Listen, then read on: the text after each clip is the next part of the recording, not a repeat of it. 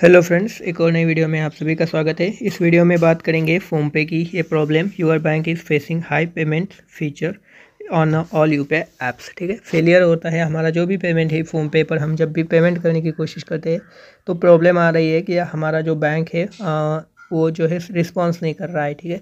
और इस तरह की इश्यू आ जाती है तो इसको ठीक कैसे करना होगा कब ये ठीक होगा और आप इसको मतलब पेमेंट वगैरह किस तरीके से कर सकते हैं तो ध्यान से देखिए, सारी प्रोसेस इस वीडियो में बताऊँगा।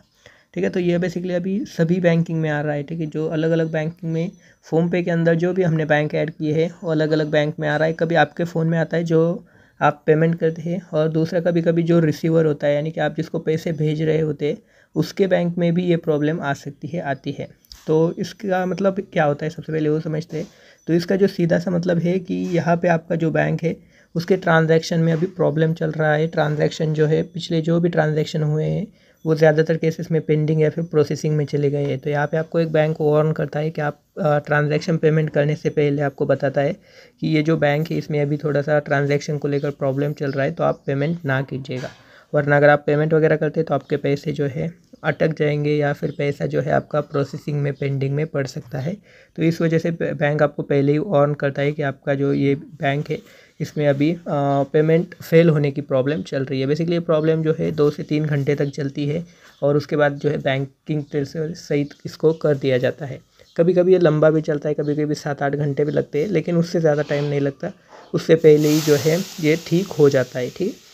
तो इसको आप ठीक कैसे कर सकते हैं? ठीक करने के लिए आपको एक तो आप वेट कीजिए। ऑटोमेटिकली ये जो प्रॉब्लम है वो चार पाँच घंटों में ठीक हो जाती है। इसके अलावा यहाँ पे आप जो है अपना फ़ोन पे ऐप से जो है, वो जो भी बैंक अकाउंट आपने यहाँ पे ऐड कर रखा है, उसको रिमूव करके जो है, वापस उसको ऐड कर सकते हैं, ठीक है? अपना पिन जो है, आप यहाँ पे वापस सब कुछ सारा प्रोसेस करके एक बार वापस से जो है अपना बैंक अकाउंट ऐड कीजिए और उसके बाद आपको क्या करना है कि यहाँ पे आपको चेक बैलेंस के ऊपर क्लिक करना है और यहाँ से आपको अपना बैलेंस चेक कर लेना है सबसे पहले, ठीक है? अगर आपका बैलेंस यहाँ से चेक हो रहा है, इसका मतलब आपका अभी यूपीआई सही तरीके से चलना स्टार्ट हो गया है। अगर यहाँ पे बैलेंस शो नहीं हो रहा है, यहाँ पे अदर कोई इशू आती है तो इसका मतलब है कि अभी भी बैंकिंग में प्रॉब्लम है, थोड़ा वेट कीजिए, उसके बाद आपका ये ठीक हो जाएगा। अगर आपको वीडियो अच्छी लगती है तो लाइक और चैनल को सब्सक्राइब करना ना भूलें।